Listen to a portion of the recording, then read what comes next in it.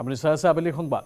বুধবাৰে মুম্বাইৰ ৱাংখেৰেত পুনৰাবৃত্তি ঘটিব। দুহেজাৰ ঊনৈছ চনৰ ক্ৰিকেট বিশ্বকাপৰ। দুহেজাৰ ঊনৈছৰ মানচেষ্টাৰত অনুষ্ঠিত ছেমি ফাইনেলৰ দৰেই এইবাৰো টীম ইণ্ডিয়াক প্ৰত্যাহ্বান জনাব নিউজিলেণ্ডে। চলিত বিশ্বকাপৰ প্ৰদৰ্শনৰ ফালৰ পৰা প্ৰথম ছেমিত আগবাঢ়ি আছে টীম ইণ্ডিয়া। লীগৰ নখন খেলৰ নখনতেই টীম ইণ্ডিয়া জিকাৰ বিপৰীতে পাঁচখন খেল জিকি কোনোমতে ছেমি ফাইনেলত উপনীত হৈছে নিউজিলেণ্ড।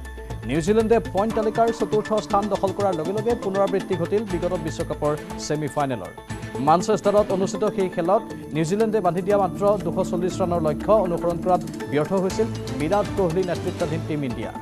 দুই হেজাৰ ক্ষমা কৰিব। দুশ একৈছ ৰানতেই থমকি ৰ'বলৈ বাধ্য হৈছিল ভাৰতীয় দল।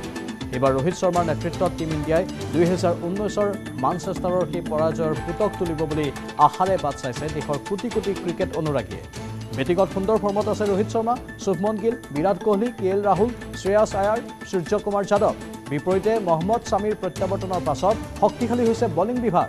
স্বামীৰ লগতে জছপ্ৰীত বুমৰাহ আৰু মহম্মদ স্বামীৰ নেতৃত্বত এতিয়া পেচ আক্ৰমণে অনবদ্য প্ৰদৰ্শন কৰাৰ সমান্তৰালকৈ কুলদীপ যাদৱ আৰু ৰবীন্দ্ৰ জাদেজাৰ স্পিন আক্ৰমণেও ফুল ঠেকত পেলাইছে বিপক্ষৰ বেটছমেনক বেটিং বলিং দুটা দিশতে আগবাঢ়ি থকাৰ পাছতো ছেমিত জিকাৰ বাটত টীম ইণ্ডিয়াৰ সন্মুখত হেঙাৰ হ'ব পাৰে টছ। ৱাংখেৰেত অনুষ্ঠিত হোৱা এইবাৰৰ বিশ্বকাপত টছে লৈছে গুৰুত্বপূৰ্ণ ভূমিকা। টছত জিকি প্ৰথমে বেটিং কৰা দলে জিকিছে খেল। ৱাংখেৰেৰ শেহতীয়া চাৰিখন খেলত দ্বিতীয় ইনিংছৰ প্ৰথম দহ অভাৰত পেচাৰৰ দখললৈ গৈছে সোতৰটা উইকেট। আফগানিস্তানৰ বিৰুদ্ধে অষ্ট্ৰেলিয়াৰ গ্লেন মেক্সৱেলৰ ৰাজকীয় ইনিংছৰ বাহিৰে ৱাংখেৰেত দ্বিতীয় ইনিংছত সফল হ'ব পৰা নাই কোনো এজন বেটছমেন। কাজেই বুধবাৰৰ ছেমি ফাইনেলত ভাৰত আৰু নিউজিলেণ্ডৰ বাবে গুৰুত্বপূৰ্ণ হ'ল টছ।